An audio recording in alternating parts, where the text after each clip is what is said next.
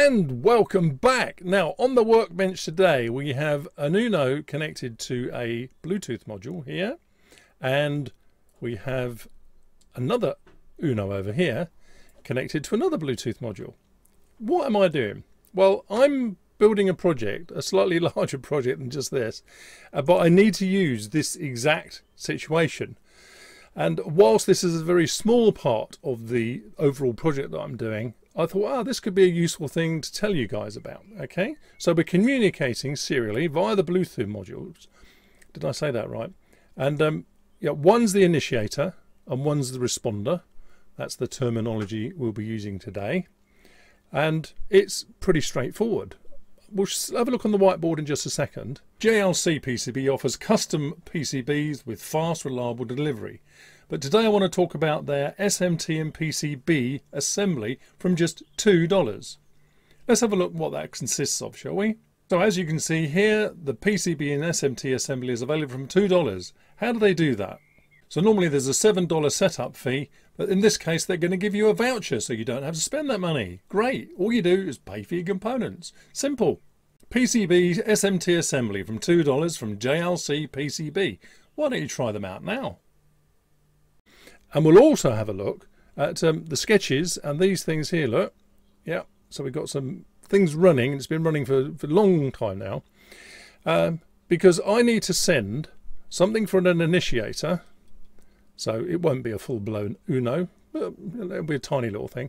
But it will send it via Bluetooth to a responder so I have remote control. Now, I've, I've simplified yet further in this instance because I only need one-way communication. So the initiator is going to send stuff to the responder, but the responder will not send anything back. It doesn't have to. Okay, there's no need for this to send anything back, and even if it did, what's this going to do with it, given that the thing I'm going to plug into here is in fact a Wii controller. Okay, so yeah, it's it's not going to do anything. Well, I suppose it could get a bit of feedback, I suppose. I never thought about that. But uh, yeah, that's the way it's going to be. So how simple is it to do this? And, um, and what do we have to do to get these things talking to each other uh, in, a, in a meaningful manner so you can just switch it on and they'll just pair up instantly and won't start connecting, for example, to my um, smartphone charger, which is also Bluetooth. Yeah, so it's, um, yeah, okay, let's, let's whiz through this bit because the most complex bit is actually getting these talking, but even that is easy once you know, like everything else in the world, isn't it? And uh, this one here, you can just see this little orange wire here, this eagled eyes amongst you will have seen that it's actually going in, look, just at the bottom of the picture, it's, it's actually soldered into pin 34, right at the top, the last pin. And it's um, sort of just hanging about at the minute. But we need that when we start setting these up to, you know, communicate and pair. It's a one-time thing though, and it's, it's, it's straightforward. Right, let's dive straight in. What am I doing? Whiteboard, come on, bring it on. So let's assume we've got two independent units. One's in this case a nano that I've drawn and one a Uno, because you might have, say, the nano positioned you know, some way away with, say, a thermistor on it, yeah, a temperature controller, perhaps a DS1820B or whatever it is you want, a DHT22, right? Uh, don't use a DHT11 outside, by the way, because it doesn't go below zero, as I found out the hard way. So you've got this, this thermometer thing out on a nano, all right? And you want the temperature to be displayed, like I'm showing here, but some way away. In your lounge, for example, might be good, not where this is being tucked up in, in the eaves or wherever you've put this. Now, what you could do, except it wouldn't work, is um, is uh, do all the business here to read this device every, you know, 10 seconds, whatever it is you're going to do. And then you could uh, send it via the serial port, serial.write or serial.print from the TX down to the RX. Um, if this had to send back a reply, the TX will go from here to the RX here. Okay, so you can have a two-way conversation if you want. Exactly what this is going to do with any kind of reply, hmm, in this particular situation, perhaps we don't need that. And for my particular project, I don't need that two-way. It's a one-way. So this is the transmitter. So let's, let's just mark that as a TX or initiator, and this is the receiver or responder. So what I'm going to be doing is transmitting from here uh, using that pin 1 down to this other Uno, remote Uno, uh, and receiving it on pin 0. Except, A, you don't want to use pins 0 and 1 because they're the pins that you use when you upload a sketch. So if you did this and then you think, oh, I've just got to make a quick change to the sketch on here, you'd actually have to disconnect these two wires. Otherwise, it just it just wouldn't work. You'd get that out of sync message, you know, when you get upload stuff. So you don't really want to use uh, pin 0 and 1. You want to use software serial, and I'll show you how to do that. And secondly, how long can these bits of wire then realistically be? Even if you chose a really slow speed, perhaps you chose 300 baud, which um, you can probably get, you know, two, three, four meters maybe. I mean, I've never tried it that far. On a workbench, it's all a bit different, isn't it, really? But it's wired, isn't it? It's wired. So we don't really want any of that. Let's let's look at the way we are going to do it. So my setup at the moment, the one that's been running for many, many hours now, is this. We have um, an Uno and a Nano on one end connected to an HC05 Bluetooth module. And this is the, the transmitter, therefore the initiator, because I'm only using one half of this transmission receiving leg. So this is the unit that sends out stuff. This is the receiving end. So this is an HC05 as well, but it could be an HC06, right, which can only uh, act as a responder uh, and going into a, an Uno that's some way away, up to, they say, 30 metres, which probably means five. No, no, I, I jest, I jest. Um, it's got a pretty good range, I've got to admit. I haven't tested it at 30 metres. I do not live in the grounds of Windsor, Palace. I have not got 30 metres at my disposal. Um, but I've done it for 10 metres and it's been rock solid. So, yeah, okay. Try it out, I guess, when you... There are some higher power Bluetooth modules, actually. Um, I've not tested them out so I can't comment but you can get like 80 meters yeah. So what what this is doing then so this is this is transmitting that count you saw right? So this is now being transmitted via Bluetooth to this one. This is receiving that count confusingly and it is confusing. On the receiving end we're actually connecting to the TX of this module because this is the module that's transmitting it back out into the Uno. And over here, the transmitter, I know, it's this is sending it out into the RX because this is receiving that data and will send it out wirelessly. Yeah, that caused a few fun and games, I can tell you. Hmm. Right, so that's basically what what's happening, and it's all pretty simple, isn't it? Well, okay, this bit is getting this bit running with those two sketches and making sure you do connect up to the RX on the transmitter and the TX on the receiver. Yeah, okay, that's that's pretty straightforward. It's just like having the TX RX two um, wire connection twisted though. It's just the same and it works nicely. That's not the tricky bit. The tricky bit, if you can call it that, it's just a bit fiddly, is to get these two paired up. There's only a few commands um, but there's some gotchas in that, so we'll look at that as well. Okay, this is how we're going to set up the HC05s right? And some of it applies to the HC06 easy for me to say. Um, but you really do need to look at the Martyn Currey website, which um, we'll have a brief look later, but I'll put the links down below. So what we've got here then is an HC05 which is the initiator, connected up to a, this is a CP20, no it's not, it's a CP1202 serial to USB converter over here I've got one as an FTDI which I tend to use more often I don't know why. They both work just as well. Um, the FTDI USB serial to converter does have a 3.3 volt and 5 volt selection on here which is useful for this because this whilst it will run on anything from 3 volts to 6 volts the um, the receive and transmit pins are apparently a little bit sensitive and shouldn't be used above 3 volts now over here, the, I've actually got it plugged into a, a, resistor network to reduce the 5 volts down to 3 volts, but then I stupidly plugged it into the 3 volt uh, setting on the CP1202 uh, USB to serial adapter, so it's only getting 3 volts to start with. So I might have to undo that again or plug it into the 5 volts. But whatever, it shows that you can do it very easily just with a couple of resistors. I'll, I'll show you that on the whiteboard. Right, in order that you don't blow up your HC05 or HC06, the RX pin is only 3 volt tolerant. Now, of course, the output from your Uno is going to be 5 volts.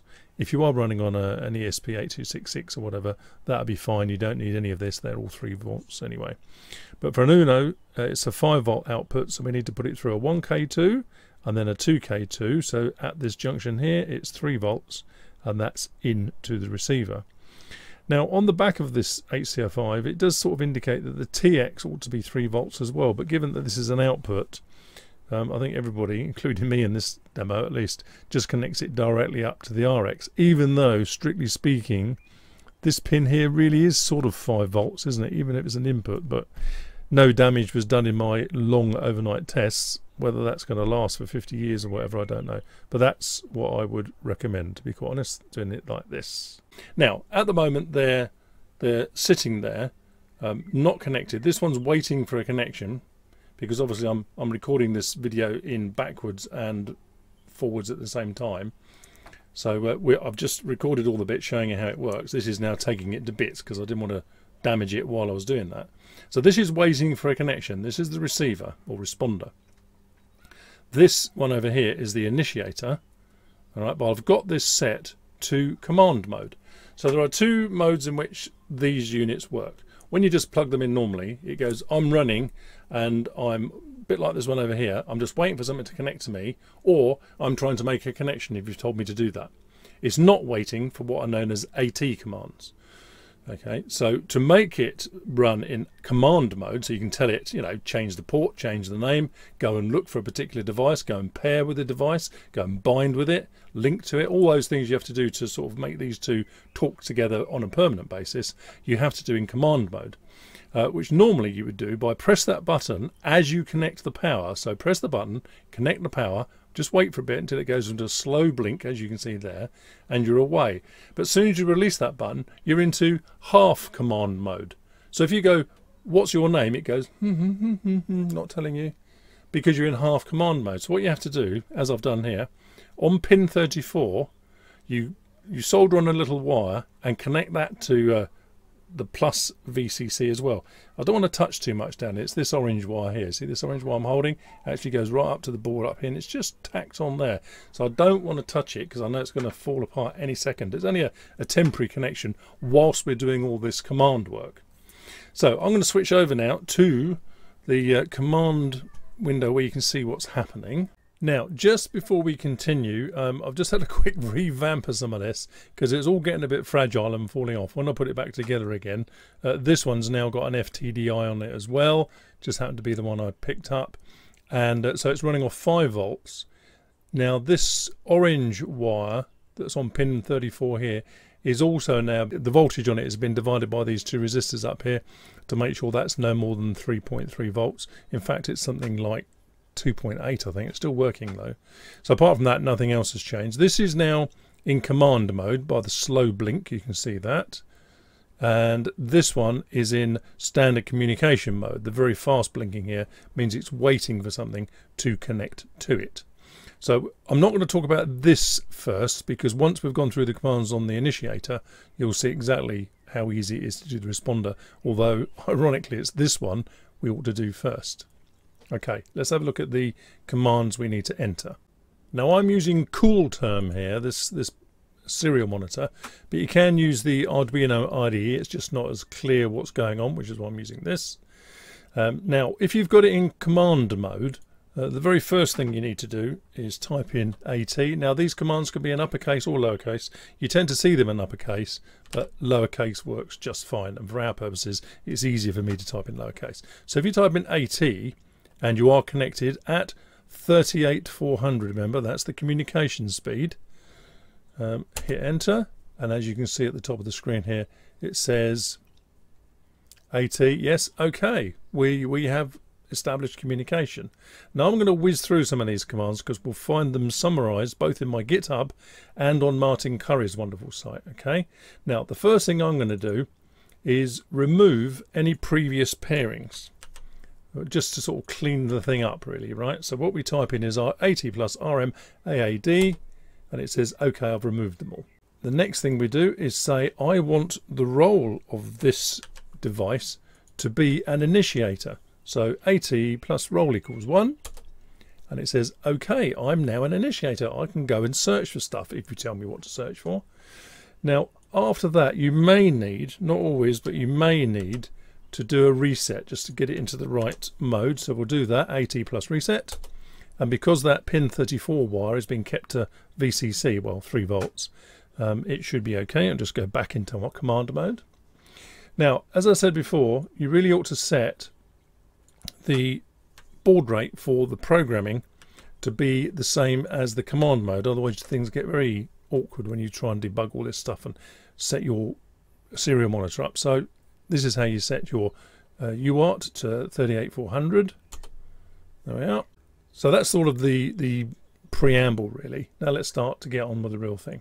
Right, first of all, I'm saying set this device to promiscuous mode, which means we can talk to any device anywhere. C mode of one, this is okay. We're now saying I, I'm going to set you the inquiry mode. So when you go searching for other Bluetooth things, I want you to search for up to five things in nine seconds and after that stop. Okay, so that's what we're going to tell you to do. And the next thing we have to do is an init. And then now we should be able to inquire. Right, go and find something. It's found one. That is the one. Shh, don't tell anyone. After nine seconds, it should come back with an OK. There we are. OK, and that's all it could find. Now, if you were in any doubt as to whether or not this was the one you're supposed to be um, pairing with, you can do a query on the remote name. That is the one that's waiting to be paired to. You can say, what's your name? And this is what the command is. Right, so this is the command to say the remote name, that's the remote item you're trying to connect to, with this address. What's your name, please? And it comes back with, there we are, responder. Great, that's what the one we're trying to connect to. Right, so now we know we've got the right um, name and everything. Right, now we're going to try and pair with that device, and the last nine means within nine seconds, please. Just thinking about it. Oh, it says OK. Look at that. Excellent. Right, that's just like pairing your headphones to the television though. It's a one-time thing. If you switched on your headphones again, you might have to do it again. So what we're going to do now is bind to that device. Um, set this, the mode, the C mode, so that only ever pairs against or connects to paired devices. And finally, we need to link to it. I've got to be honest, I don't know why we have to do a link if we've already paired and linked, but I think this must be all part of the individual setup. Thinking about it. Oh, and it's done. And that is it. Right, if we look at the desktop now, now what you can see here is that um, instead of a very quick flashing, it's now a double blink on both of these, and they are in fact synchronized in their blinking. So as, as this is talking to this, this is responding back now. So that's it, all done and dusted. Hmm, okay, quick a bit of a whirlwind thing, isn't it? But um, I'll show you the commands that you have to do now for the responder, which we should have done first, but it, you'll see why we did it this way. So these are the commands you'd have to execute for the responder. You need to do these first, right, before the ones we've just done. But as you can see, there's far fewer, so it wouldn't have made sense. So we just do an AT, make sure we get an OK back, set the baud rate to the same as the programming rate, set the name if you want. I mean, it's obviously not mandatory to do that, just makes it a lot easier. Um, set the role, clear any previously paired things, set the mode, do a reset, and Bob's your uncle. That's it. So there's only a few commands there, isn't there? Cool. Right, so what we're going to do is kill the power. Hello, hello. Something, something made a noise. Kill the power to this one. Take out the orange wire so it's no longer in command mode. And it should then link to this one flashy flashy somebody link to me please mode alright and we'll see what happens so I'm going to kill the power alright that's the power gone to this one I'm touching take out that little orange wire that's connected to pin 34 over here to set it to command mode now reset it up power it back right now hopefully this will stop blinky blinky so fast there we go and it's flash flash flash flash and the other one where's my pointer over here should be doing the same. I know that the video lights are quite bright today, so you can barely see it if I cover it. There we are, look, blank, flash, flash. Oh yeah, you get a blue one as well.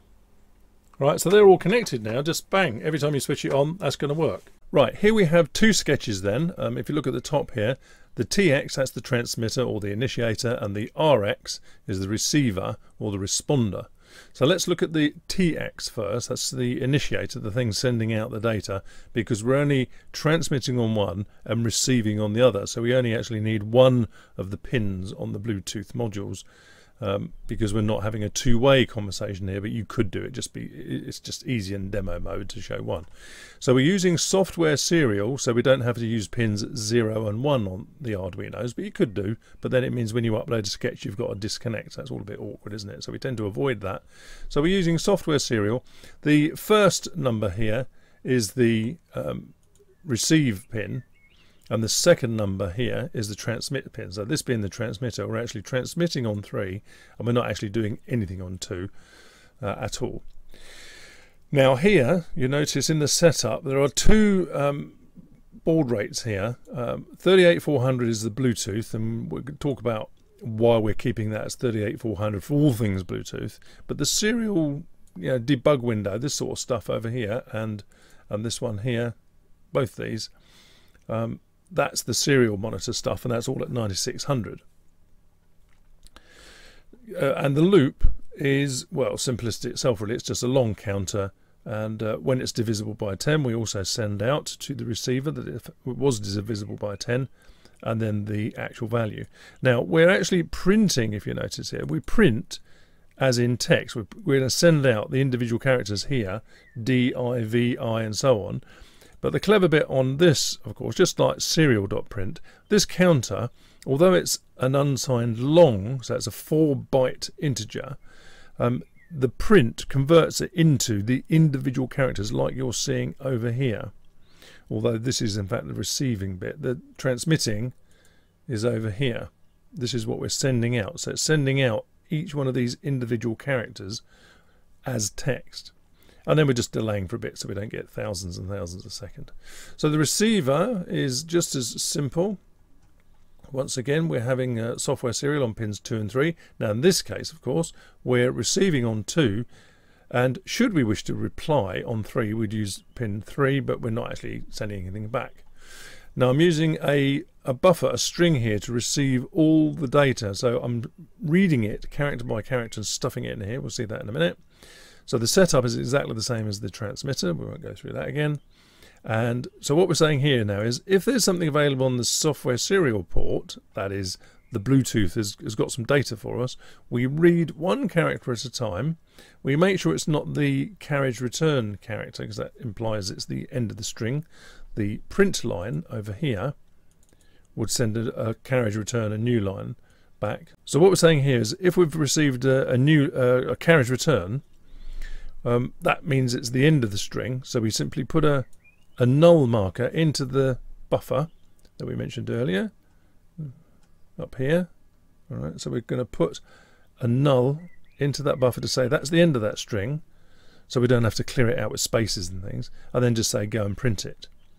Okay so what we're we're printing here is this stuff here. This is what you're looking at the debugged lines and uh, then we're just setting the index of that buffer down to zero again. Um, and if it's not a carriage return we're saying okay well as long as it's not a line feed as well because the two characters all part of this you know new line bit um, just add it into the buffer. So we're creating the buffer. So if we if I just pause this for a second um, if we look at that string there, 118943. We receive the 1 first and put it into the buffer. Then we receive another 1, put it into the buffer. Then the 8, 9, 4, 3, and so on. So the buffer contains all these characters, but we've not seen anything yet.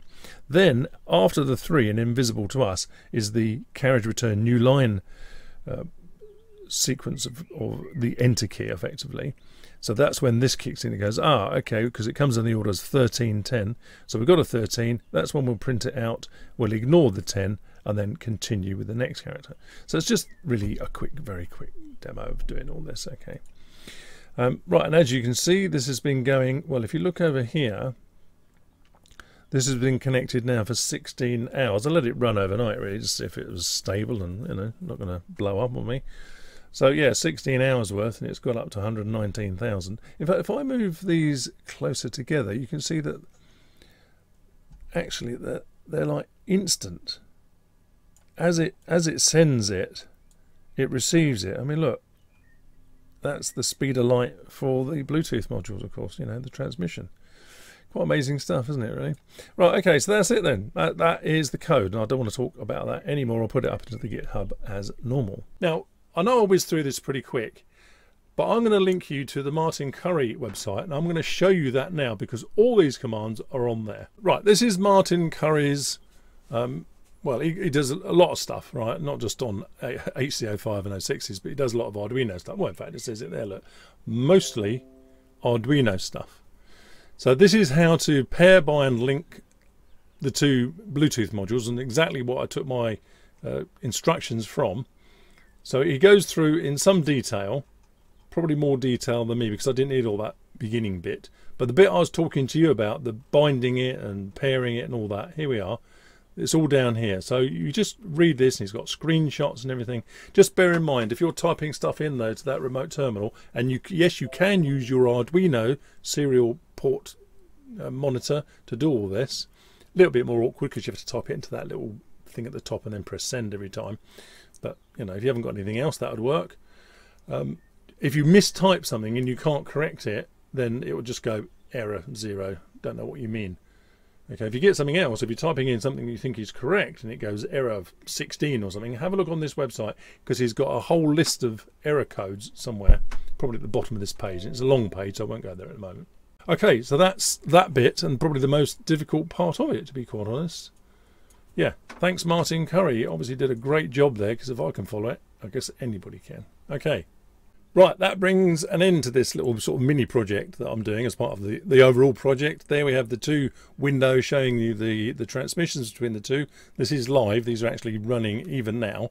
And as you can see over here, it's now been up for um, 19 hours and 51 minutes. So yeah, I'm, I'm guessing this is stable. Yeah, and of course in due course, I'll be showing you the bigger project that I'm working on and why would I want to connect one of these up to a Wii controller anyway and it's not for playing games. Right, okay, that's it. I'm going to put a few links down below for, you know, where you can buy this stuff and perhaps some interesting things about the HC05, HC06, especially Martyn Currey's wonderful website that without that would all be floundering quite frankly because it's not something you do every day of the week is it this? And when you do come back to it you think what do i do again? I've got a vague idea of what to do. Uh, my thinking ends up i know i've got to type in at and i get an okay back and, and then what? So anyway have a look at that. If you ever need anything HC05, HC06, i have got those sppc versions of these these devices. Um, serial port protocol versions that's what the spp bit stands for um, but they haven't got a little button on like I showed you. Um, and apparently you don't need it, but it was all a bit too long-winded to investigate that at the same time. That'll be for a future video. Okay, that's it. All done and dusted. If you think this was worth it, do give it a thumbs up. Let's YouTube know that it should recommend it to more people. Uh, comments down below, gratefully received. I like having this sort of two-way conversation with you guys. And see you in the next video. I hope you're finding these videos useful and interesting. There are plenty more videos to choose and a couple are shown below. And if you'd like to subscribe to this channel, just click on my picture below and enjoy the rest of the videos. Thanks for watching.